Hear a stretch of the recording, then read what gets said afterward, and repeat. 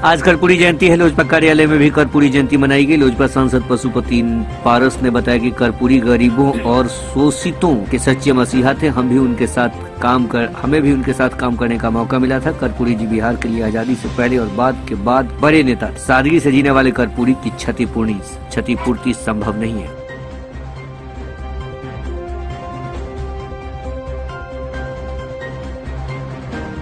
आदरणीय स्वर्गीय कर्पूरी ठाकुर जी के साथ है।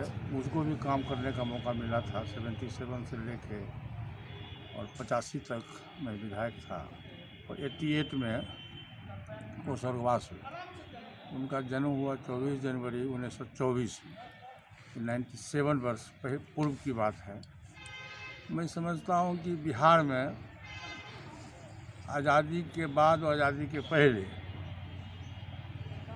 कर्पूरी ठाकुर जी के का जो सिद्धांत था, जो कार्य करने का तरीका था, जो गरीबों के मसीहा थे, ऐसा शायद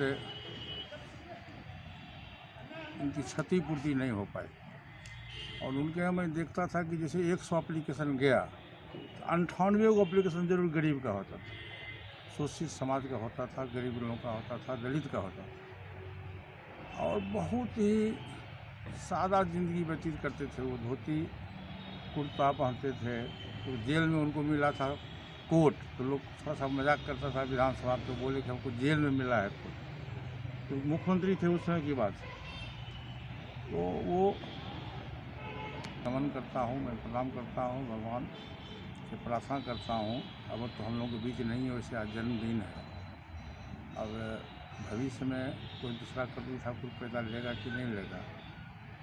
ये कहना भी मुश्किल है।